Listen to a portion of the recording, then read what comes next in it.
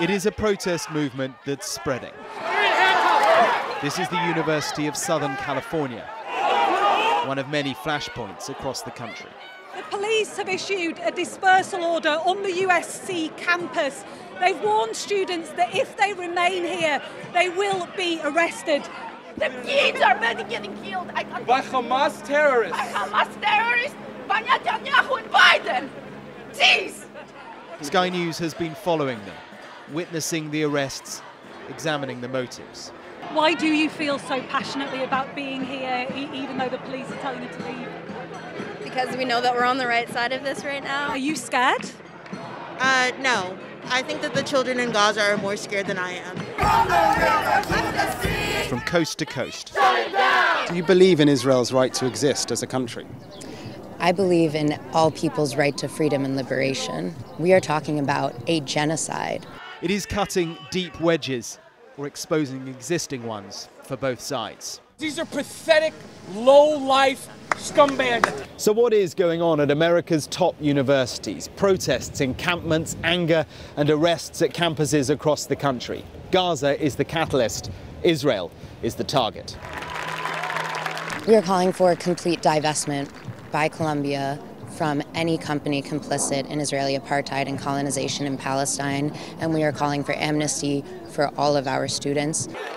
It began at Columbia on New York City's Upper West Side. The university president had called in the police. She'd concluded that the protesters, in a college with a proud history of protest, represented a clear and present danger to college life. They tried to clear the encampment. They arrested more than 100 student protesters, but it only emboldened the movement. Downtown, at New York University, more arrests. Well, it's the morning after more than 100 people were arrested here at NYU in southern Manhattan, and they've put up barricades now. It's an attempt, I think, to quell the protests, to keep the two sides apart. It's also an attempt to keep out agitators who are unaffiliated with the student movement.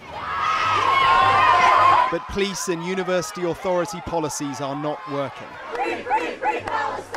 This is the University of Texas in Austin.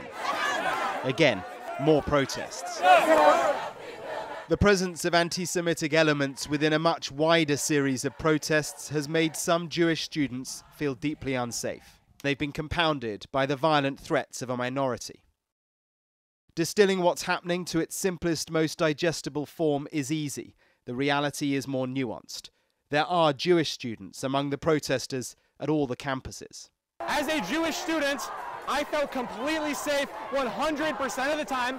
The police showed up in big force, obviously, did not want us to be there, and they ordered us to break up or they'd stop making arrests. But back in New York, outside Columbia, And we came to our homeland. And all of these lunatics an angry, offended, and worried Jewish community. As offensive as these people are across the street, agenda number one is to free our hostages. Do not be afraid of being Jewish, especially in New York City. down with Hamas. Victory for Israel. The chaos of a war in the Middle East has reverberated so far beyond.